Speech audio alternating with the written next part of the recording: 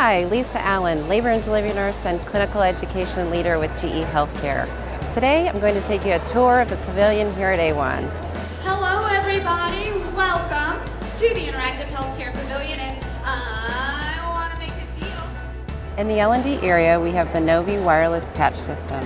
The Novii wireless patch system is an intrapartum maternal fetal monitor that non-invasively measures and displays fetal heart rate, maternal heart rate, and uterine activity Moms can have the freedom to choose their laboring position and get up, walk around, even bathe, all while providing caregivers the essential data they need.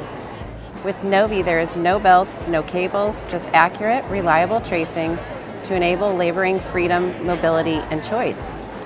This small device will adhere right to mom and give her that comfort and freedom that she deserves. We also have on display the Giraffe OmniBed Carestation and the Giraffe Shuttle, the Giraffe Carestation and Giraffe Shuttle allow you to easily transport the baby from labor and delivery to the NICU without having to move the baby into a transport incubator.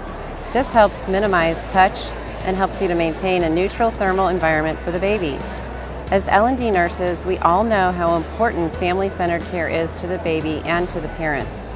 The Giraffe OmniBed Carestation helps facilitate family-centered care.